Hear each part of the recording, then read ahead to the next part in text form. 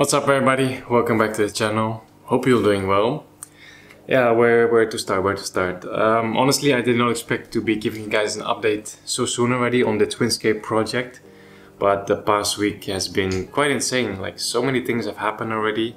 So I thought it's best to give you guys an update right now, maybe do a bit more frequent updates instead of trying to cram a lot of information into less frequent videos basically. So in the past week I tried to document as much as possible, uh, which I will show you in a minute. Before I do that, I just want to give a massive, massive thanks to all of you guys who have been watching my videos lately. Uh, the past few weeks, months, the channel has been growing really, really fast. And that's all because of you guys, because you guys are watching the videos, you guys are smashing the like button. So I really, really appreciate that and I, yeah, appreciate every single one of you. So to see that you guys are enjoying these videos so much, it only motivates me to create more videos. So there's some really cool content coming up. So make sure you subscribe to the channel so you don't miss anything. And now let's get back to the Twinscape experiment.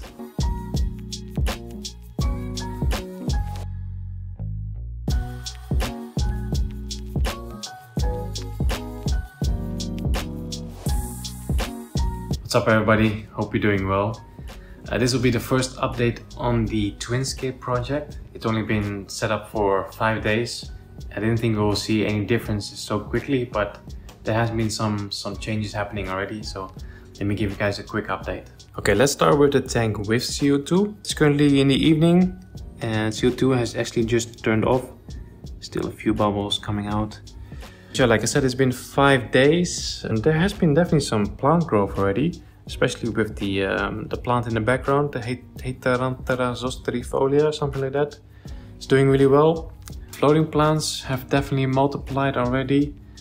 I feel like the, the Monte Carlo is starting to spread out a little bit, like you can see over there, spreading out a little bit. On this side as well, the Hygrophila araguaia is starting to grow some new leaves and um, Micranthemum umbrosum has been growing a bit taller as well. And if we look through the side here, we can see that the Ludwigia repens has started to get some red color already on the tips. So that is nice. And the Rotala orange juice in the background, it's hard to see, but I'm, I'm getting a little bit of orange already. So that's quite quickly after five days only. So that is, I think that's everything. Yeah, as you can see, there's basically no algae yet, so that's good. I mean, I didn't expect any algae after only five days. But if you're moving to the no CO2 tank, the no CO2 tank is already developing algae. So that's really, really quickly. You can see here on the on the glass over there, some green dust algae, and especially on the side panel here, there's a lot of green dust algae.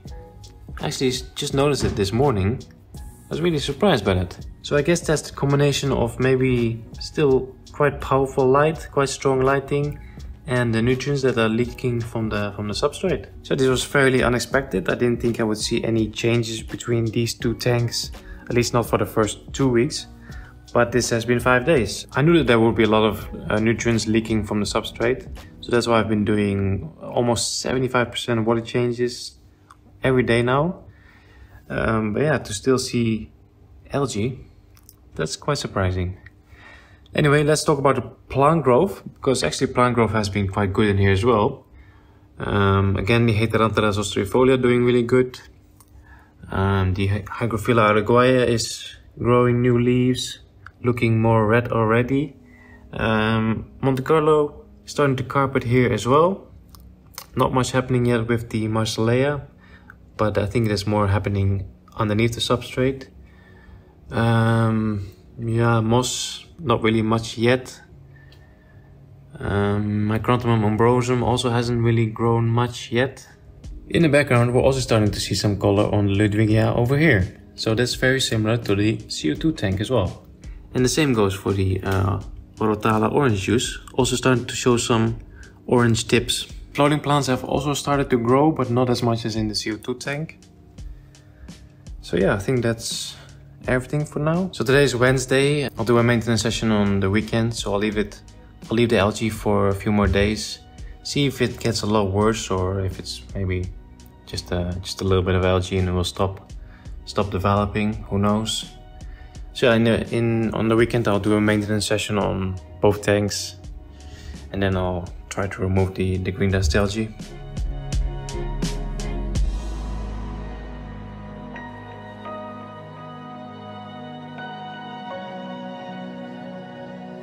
Okay, time for another Twinscape update. It's now Sunday. It's been nine days since we set up both tanks and things are really uh, picking up now. Plant growth is, is, really starting to pick up. I'm having so much fun watching both tanks develop and see the, the differences. Let's take a closer look. Okay, let's start with the no CO2 tank. As you can see, we have a lot of green dust algae. Definitely got a bit worse since the last update. Um, after this update, I'm gonna do a little maintenance session on both tanks and clean the grass properly. But let's take a look at the plant growth. Uh, starting with the foreground, the Monte Carlo is starting to spread, yeah, quite okay. It's definitely better in the in the other tank. Uh, Marsilea is still doing nothing. I don't see any new leaves here. But the plant behind it, the, the red plant, Hygrophila araguaia, is definitely starting to pick up nicely. Seeing a lot of new growth here. Nice color as well, definitely uh, has gotten more red since, since we've planted it. A uh, little bit of growth on the moss as well. And then the Micranthemum ambrosum also doing really good. Definitely has grown since since planting. Uh, the star of the show is definitely the Heteranthera zoster in the corner there. Showing a lot of good growth, lots of new leaves, looking good. Also the background uh, Rotala orange juice, looking really good. Definitely getting orange. Lots of new leaves, so that's looking good. And in the corner, still a bit hard to see, but the uh, Ludwigia, was it again Ludwigia palustris, I think. Also doing quite well. To the tops are getting uh, getting some color. So that's good. Also floating plants are growing quite well. I've already removed a little bit of floating plants from the tank. So yeah, besides the green dust algae, we also have a little bit of hair algae or filamentous algae so we will clean that up as well. Then moving on to the tank with CO2. Yeah, I don't see any green dust algae here, so that's a big difference. Uh, in terms of plant growth, the Monte Carlo is definitely starting to carpet properly here. Looking much healthier, I would say, than the no CO2 tank. Also, the Marsilea has grown some new leaves here, so that's so that's one, two new leaves over there, uh, one, two new leaves over there. So that's a big difference as well. Um, the Hygrophila araguaia, yeah, also growing. I, I would almost say that the Hygrophila araguaia in the no CO2 tank has better growth or more colorful growth. So that is a bit strange. Um, Micranthemum ambrosum also doing good here, very similar to the no CO2 tank. Heteranthera in the back corner, Mm, maybe a little bit more growth comparing to the no CO2 tank. Uh, Rotala orange juice, very similar to the no CO2 tank. And the Ludwigia palustris also very similar to the no CO2 tank. So that is the current situation after only 9 days. I'm quite surprised with the plant growth in the tank without CO2. It's definitely doing good and it's not that far behind from the tank with CO2. So I'm surprised that there is so much green dust algae in there, like is that just because there is no CO2? Because the plant growth is so similar, then yeah, that has to be the reason, right? CO2 related algae issues are usually um, black brush algae, staghorn algae, and green thread algae. That's usually like the three main types of algae that will cause that will be caused by a lack of CO2. So the green dust algae, yeah, I don't really get it. So I'm gonna give both tanks a good clean now, do a nice water change as well, remove all that green dust algae, and then we can see how it will develop in the next few days and see if the algae comes back or maybe it was just temporarily. Let's see.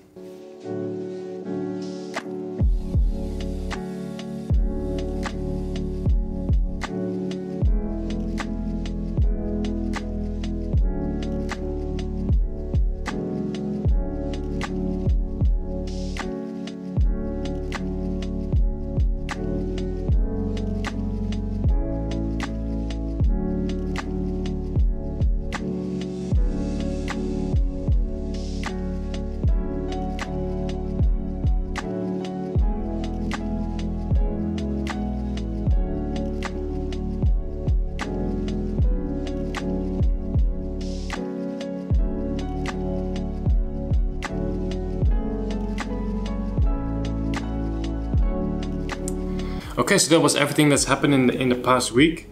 Um, it's now Monday. This video will go up tomorrow, so you guys are fully up to speed on what's happening with this Twinscape experiment. Um, I also just did a water test today. I'm not really a big fan of doing water tests. It's a lot of work and, and I think the results are a little bit unreliable. So I would take these results with, uh, with a little grain of salt. I'll put all the numbers on the screen. Yeah, there wasn't really that much interesting information. I mean, the pH in the no CO2 tank was higher, which makes sense. Um, injecting CO2 just lowers the pH, which is normal. Also, the GH and the KH in the no CO2 tank was lower, which is kind of odd. But yeah, again, like I said, take these results with a grain of salt. And the nitrites in the CO2 tank were higher as well, so that also doesn't really make sense to me. Like, this tank has more plant growth, faster plant growth, but it has more nitrates. So yeah, I just wanted to do the water test just to give some some numbers to the to what's happening here. And by the way, yesterday after I cleaned the no CO2 tank, I also noticed that there was green spot algae on the glass as well. So we have green dust algae as well as green spot algae. So yeah, I think that's everything. I think that's all the developments. I'm curious to see what's going to happen in the in the coming weeks from now. I'll keep documenting everything that's that's going to change. So I'm not sure yet when the next update on this experiment will be. Maybe in another week, maybe in two weeks. Let's see. Let's see what's going to happen. Anyway, I hope you guys enjoyed this video. If you have any questions about this experiment, just drop them in the comments. Also, in the description of this video, I'll leave all the equipment and all the products that I used for this experiment. So if you want to use anything, do check that out. I want to thank you guys for watching. I'll see you next time. Take care.